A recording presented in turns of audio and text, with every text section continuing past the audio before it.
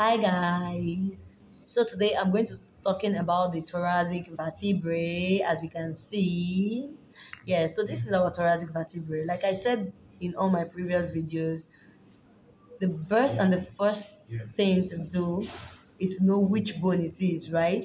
So this is our thoracic vertebrae and I'll be telling us on how we can specifically identify the thoracic vertebrae. That when we see a thoracic vertebrae, we'll be able to say that, oh, this is actually a thoracic vertebrae.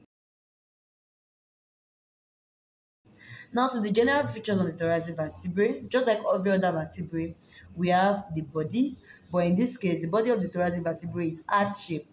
Our lumbar vertebrae is kidney shaped, but the thoracic vertebrae is heart shaped. We can almost see this love kind of shape. So it is heart shaped. It uh, we have our pedicle, we have our lamina, we have our transverse process, and we have our spinous process. Again, body, pedicule, lamina, transverse process, and spinous process. Body, pedicle, lamina, transverse process, and spinous process.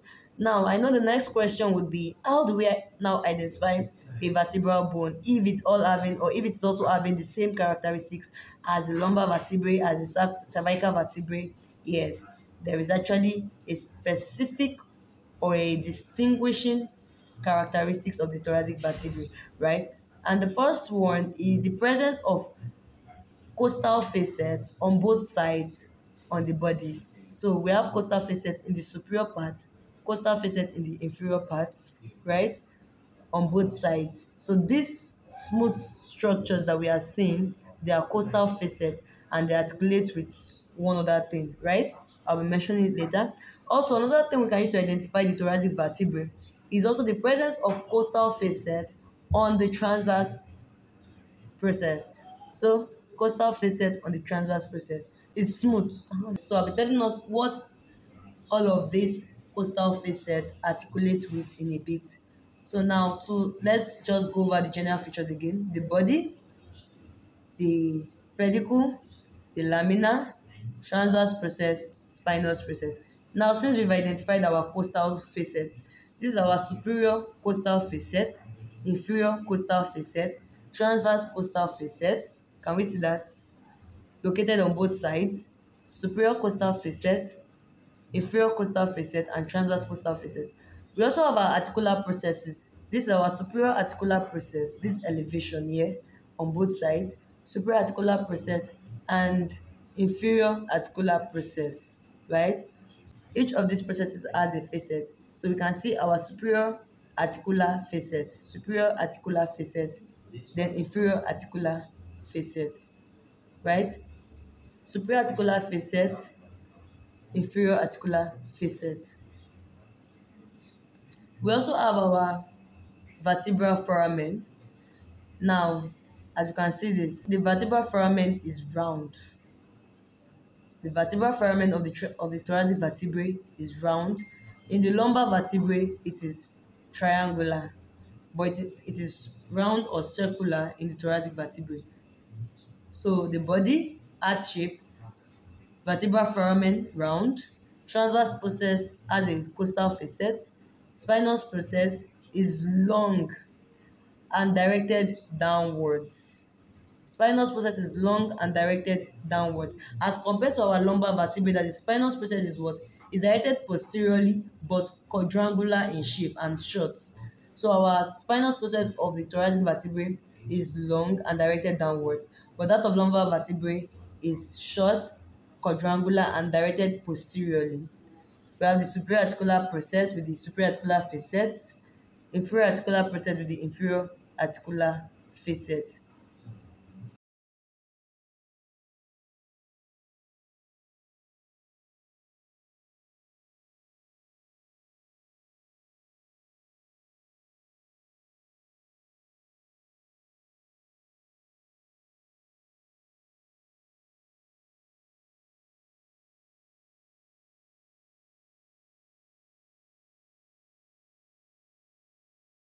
To the attachment of thoracic vertebrae.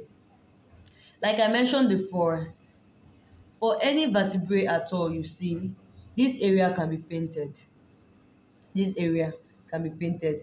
and the question is what is attached to this area just like the way it is painted in lumbar vertebrae if you have not seen my video on the lumbar vertebrae please check out my playlist and watch the video on lumbar vertebrae so this area give attachment to the anterior longitudinal ligament so they can just paint the anterior side of the body and give attachment to the anterior longitudinal ligament then posteriorly posteriorly we have the posterior longitudinal ligament which is similar to that of lumbar vertebrae. Again, anteriorly, anterior longitudinal ligament, posteriorly, posterior longitudinal ligament, right? Then we have on adjacent lamina, just like we have for the lumbar vertebrae, adjacent lamina gives attachment to ligamentum flava. So if there was another thoracic vertebra on top of this one, two adjacent lamina, the, the one below and the one above, we give attachment to ligamentum flava right? So to the attachment again, anterior longitudinal ligament, posterior longitudinal ligament, ligamentum flavum. Now, there is no muscular attachment on the anterior surface of the thoracic vertebrae. However, the spinous process of, the, of all the thoracic vertebrae gives attachment to the muscles of the back. From T1 to T12, give attachment to one or more of the following muscles, and they are the muscles of the back, so these include the erector spinae, the latissimus dorsi, our multifidus, our rhomboid major, our rhomboid minor, our serratus posterior, and trapezoid. Again, our erector spinae, our latissimus dorsi, multifidus, rhomboid major, rhomboid minor, serratus posterior, and trapezoid. So this spinous process of all the thoracic vertebra gives attachment to one of or more of those muscles. So that is a typical thoracic vertebra.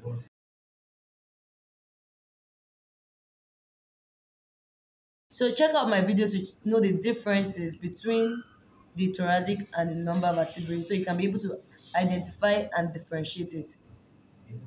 Thank you.